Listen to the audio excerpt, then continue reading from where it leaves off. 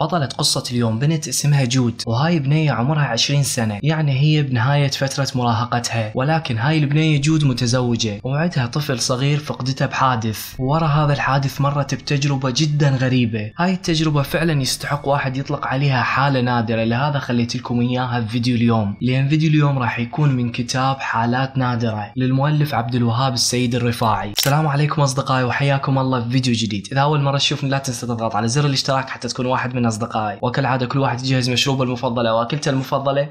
وخلينا نبلش.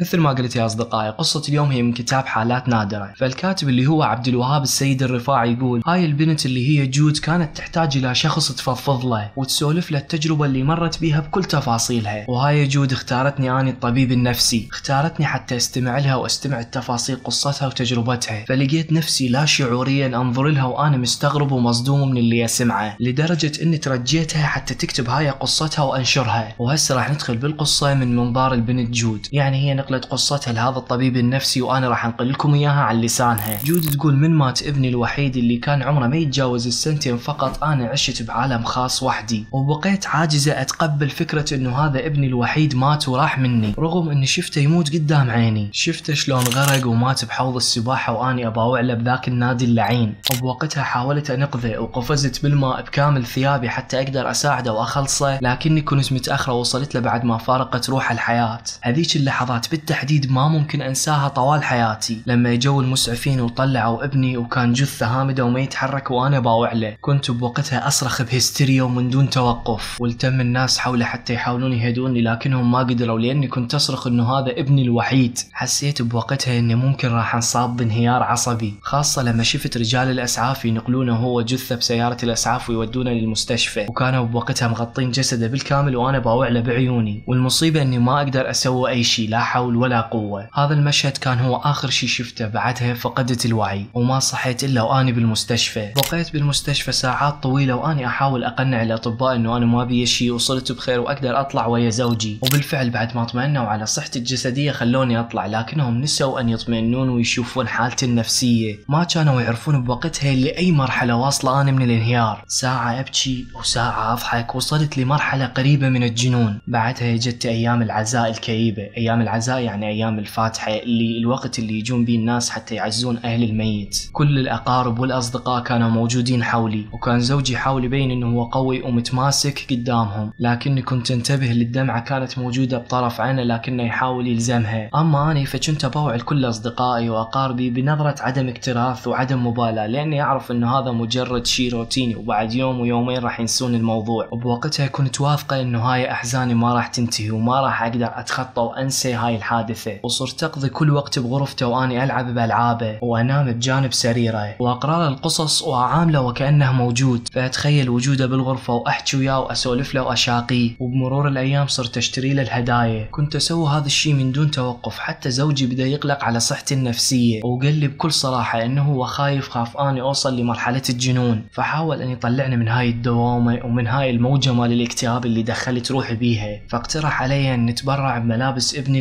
للاسر المحتاجة وكذلك نوزع ألعابه. وبعدها نسافر فترة حتى نبتعد عن كل شيء وشوية نجدد طاقتنا الإيجابية. وردة فعلي على كلامه بوقتها كانت جدا صارمة وجدا مستفزة. لأني أول ما سمعت كلامه مباشرة صيحت عليه وسديت باب الغرفة بوجهه. وتعاركت وياه بعد مرور أربع اشهر على وفاة ابني وطردته من الشقة. فحس بالياس من حالتي وقرر يروح. وبعد مرور بضعة أسابيع دز لي ورقه الطلاق. لأني عزلت نفسي عن العالم كله ورفضت أروح الطبيب نفسي. وحتى أكون صريح أنا ما كنت مهتمه إنه اني أصير مطلقة أو ينقال علي هذا اللقب لاني كل اللي كنت اريده أن أبقى مع روح ابني أعيش بغرفته بذكراه وأنا سعيدة بهذا الشيء. وكذلك ما أنسى إنه أبوي وامي وإخواني طلبوا مني ان أترك الشقة وأجي أعيش وياهم ببيت العائلة لكني رفضت هذا الشيء تماما. لأني مستحيل أترك المكان اللي بي ذكريات ابني الوحيد. مرت بعدها أيام طويلة بعد ما صار طلاقي وانعزلت عن الكل ودخلت بمرحلة مجهولة جدا وصارت وياي وياي أشياء جدا غريبة. أول شي صار وياي صارت تظهر لي أحلام غريبة وتتكرر كل يوم. كنت أشوف ابني يوميا يجيني بالحلم وكنت اشوفه بوسط الحلم حزين ويبكي فلما أقعد من النوم أقعد وأنا منهاره كان عندي إحساس إنه روحه تجي تزورني بعالم الأحلام حتى تلومني على إهمالي إله وربما البعض منكم راح يقول ليش تلومين نفسك هذا قضاء الله وقدره؟ وأي أم ممكن تغفل أو تنسى. لكني أقول إنه بعضنا ممكن ينسى مفاتيحه بمكان أو ربما يضيع تليفونه. لكنه مستحيل يتناسى وجود ابنه الوحيد. وهذا اللي صار وياي إني التيت بالسوالف ويا بقية النساء اللي بالنادي ونسيت ابني. فهذا الشيء بالنسبة لي لا يغتفر ابدا. وهاي الأحلام ما كانت هي آخر الأحداث بل بدايتها. كنت بأحد الأيام كعادتي قاعدة بغرفة ابني وعايشة بعالم الخاص اللي أتخيل بيه وجود ابني. وفجأة سمعت ذاك الصوت. نعم نعم ماكو مزاح ولا شقة بالموضوع. سمعت صوت. هذا الصوت كان صوت ابني. كنت أسمع صوت بكاء بشكل كلش واضح. ولكن هالمرة مو بالأحلام وإنما بالواقع على الرغم إني وحيدة بالشقة هنا وماكو أي أحد وياي لما سمعت توقف قلبي للحظة. فهنا بديت أركض بالشقة بصورة مجنونة حتى أبحث عن مصدر الصوت. ومن كثر ما كنت متلهفة ومتشوقة لابني ما اهتميت إنه هذا الشيء ممكن يكون شبح أو جن أو غير شيء وصراحة حسيت بوقتها انه الله سبحانه وتعالى رجع لي ابني ولا حد يلومني على هذا الإحساس لأنه التفسير الوحيد اللي اجى ببالي بوقتها. لكني ما لقيت أي أحد بالشقة رغم إني بحثت بكل مكان خاصة بحثت بمصدر الصوت واللي هو غرفة نومي. بعدها توقفت بنص الغرفة وبديت اباوع أتلفت إلى أن انتبهت لدولاب الملابس وعرفت إن الصوت جاي من هذا المكان. فمباشرة ركضت على الدولاب فتحته لكن ما لقيت شيء غير ملابسي. وبديت أنبش وأبحث بين الملابس وما أعرف على شنو أدور. بوقتها صدق حسيت وتذكرت كلام زوجي لما قال أنت بطريقك للجنون. وفجأة وأنا أدور بدولاب الملابس انتبهت على ألبوم الصور العائلية القديم. ذاك الألبوم اللي صار لي فتره كلش كبيرة ما فاتحته وشايفته. فطلعته من الدولاب وأنا امسح دموعي. فاخذته ورحت لفراشي حتى استطلع واشوف الصور وارجع بذكريات اللي ورا وتذكرت لما كنت أروح أنا وعائلتي نروح المتنزه الخيران. وكانت اغلب الصور اللي موجودة بهذا الألبوم ملتقطينها بذاك المكان. صراحة بالنسبة لي كانت أيام ما تنسي وذكريات كلش حلوة. بعدها رجعت الألبوم من مكانه وخليت راسي جوا الفراش ونمت. وكالعادة لما نمت إجاني ابني بالحلم. ولكن هالمرة الحلم اللي إجاني بيه ابني مختلف تماما. ما شفته يبكي أو حزين أو منهار مثل كل مره بل شفته لازم ألبوم الصور نفسه لازمه بإيده ويباوع لي. نفس الألبوم اللي كانت بيه الصور من متنزه الخيران. كانت هاي هي المرة الأولى اللي أشوفه بيها وهو ينظر لي وهو مو حزين وكأنه دا يطلب من عندي شيء أو يلمح لي شيء. وهذا الشيء أكيد يتعلق بألبوم الصور. وطبعا عرفت إنه هذا الشيء يتجاوز الحلم وكانما ابني دا يحاول يتواصل وياي. ويريدني أنا أسوي شيء وهذا الشيء متعلق بهذا الألبوم. لكن ما كنت أعرف شنو قصده وشنو علاقة هذا الألبوم بي. لما قعدت من النوم رجعت فتحت الألبوم تصفحت بيه. ماكو بيه فد شيء غريب أو ملفت للانتباه. واستمرت هاي التساؤلات والأسئلة تجي بعقلي. شنو هذا الألبوم؟ شنو علاقته بابني؟ وكذلك يوميا يجيني بالحلم وشايل بيده هذا الألبوم ويباوع لي وبعد مرور عدة أيام اقتنعت إنه ابني فعلا يريدني أروح لهذا المتنزه. ماكو أي تفسير آخر لهذا الحلم وهالشي اللي دا يصير وياي. لأن صوت بكاءه هو اللي وداني الدولاب الملابس اللي لقيت بيه هذا الألبوم. ولما رحت وأخذت هذا الألبوم صار يجيني بالحلم ولازم هذا الألبوم بيده. فمعناته أكو شيء مستعجل يريدني أسويه هناك بذاك المكان اللي هو متنزه الخيران. وبعد مشاورات بيني وبين نفسي قررت أسمع كلام ابني وأروح المتنزه الخيران. وبالفعل حجزت لي شاليه هناك والموعد المقرر بعد ثلاث أيام. وبعدها قعدت بشقتي وأنتظر الوقت يمر حتى أروح لهذا المتنزه. وكذلك كالعادة هاي الثلاث أيام كلها مرت يوميا ابني يجيني بالحلم ولازم بيده الألبوم. وأخيرا اجى اليوم الموعود اليوم اللي أروح بيه لهذا المتنزه. وأكيد ما قلت لأي واحد من عائلتي أو أصدقائي لأني متأكدة إذا أقلهم هذا الكلام. أكيد راح يحكمون علي إني صرت مجنونة وراح يأخذوني غصبا علي لمستشفى نفسية. فما قلت لأي أحد ورحت وحدي. وبالفعل انطلقت للمتنزه ووصلت هناك قبل لا تصير الساعة بثلاثة العصر. فوصلت للشاليه وقعدت هناك بالغرفة وأني اباوع على المكان وأفكر بيني وبين نفسي شنو الشيء اللي يريده مني ابني؟ وليش كنت أشوف بعيونه نظرات الإصرار؟ يعني من نظراته مبين يريدني أروح لهذا المكان. وبعدها طلعت من الشاليه وبديت أتمشى بالمتنزه وأني ما أعرف وين رايحة بس مجرد أتمشى. وكانت بوقتها موسم الاختبارات أو الامتحانات النهائية فكانت أغلب العوائل ملتهية ويا ابنائها بالامتحانات ما عدايا آني وكم عائلة. وبقيت على هاي الحالة إلى أن مر اليوم الأول بسلام. باليوم الثاني قعدت الساعة بالعشرة الصبح. وأتذكر كل زين الشيء اللي خلاني أقعد من نومي. اللي قعدني بوقتها هو صوت صراخ ابني وكان يصرخ صرخة كلش قوية ويبكي بصوت جدا عالي. بعدها انتبهت على روحي قلت لحظة لحظة هذا مو حلم أنا بالواقع. ودا أسمع صوت صراخ مال طفل دا يبكي. وهذا الصوت كان قريب من المكان اللي بيه فعلا بوقتها قلت اني راح أنجن لأني حسيت بوقتها إنه ابن الميت يحتاج مساعدتي. أكيد حتقولون هالشي كلش متناقض بس انتو خلوا نفسكم مكاني. بعدها نهضت من مكاني وما زلت أسمع صوت الصراخ. وبديت أبحث بكل مكان بالشاليه حتى أدور على مصدر الصوت. وفجأة انتبهت إنه هذا الصوت ده يجي من برا من خارج الشاليه مو من داخله. فلبست ملابسي بسرعة وركضت خارج الشاليه. وأنا أبحث عن مصدر الصوت مصدر صوت صراخ ابني. حتى لو كنت متوهمة لكني ما أقدر أتجاهل هذا الوهم. بعدها وأني أدور بالمكان فجأة لقيته. ولكن ما كان ابني بل كان طفل آخر أني ما أعرفه. هذا الطفل لمحته من بعيد وهو بالبحر لما جرفته الأمواج. جرفته الأمواج وما حد منتبه له. وهو بنص البحر يصرخ ويبكي ويطلب النجدة. فهنا أنا مباشرة بكامل ملابسي نزلت للبحر ورحت له بسرعة حتى أنقذه. وبوقتها انعاد عندي نفس السيناريو اللي صار ويا ابني. لما غرق بحوض الاستحمام وما قدرت أساعده. فحاولت قد ما أقدر أنا أوصل له وأساعده وبالفعل وصلت له. وسحبته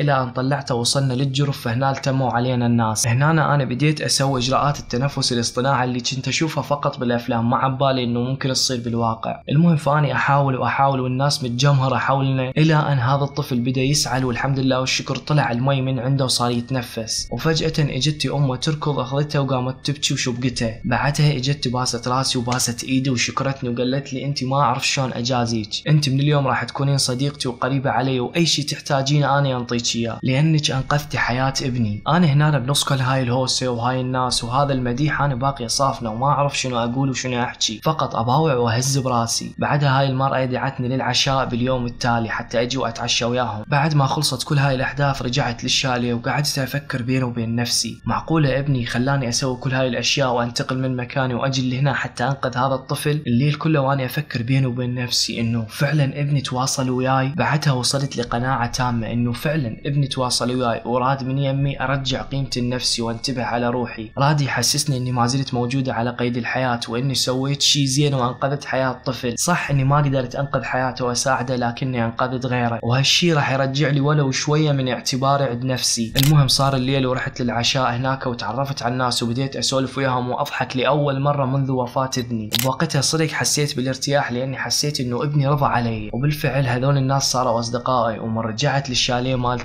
ونمت شفت ابني بالحلم. ولكن هالمرة لما شفته كان مبتسم وفرحان. فتيقنت 100% إنه ابني الآن راضى علي وقدرت أعوضه. وانتهت سفرتي ورجعت للشقة مالتي. بعدها تواصلت ويا أهلي وصرت أزورهم وأروح لهم. ورا مرور فترة تواصلت ويا زوجي واعتذرت من يمه وطلبت من يمه يرجع يتزوجني. وبالفعل هذا اللي صار ورجعنا مع بعض والحمد لله. هاي كانت قصتي اني جود من الكويت. وبس يا أصدقائي هاي كانت قصة جود من كتاب حالات نادرة اللي نقل لنا إياها الطبيب النفسي عبد الوهاب. السيد الرفاعي وأنا نقلت لكم إياها. إذا عجبتكم القصة لا تنسون ال like والاشتراك بالقناة وكذلك تتابعونا على الانستغرام. أخوكم عبد الخالق. سلام.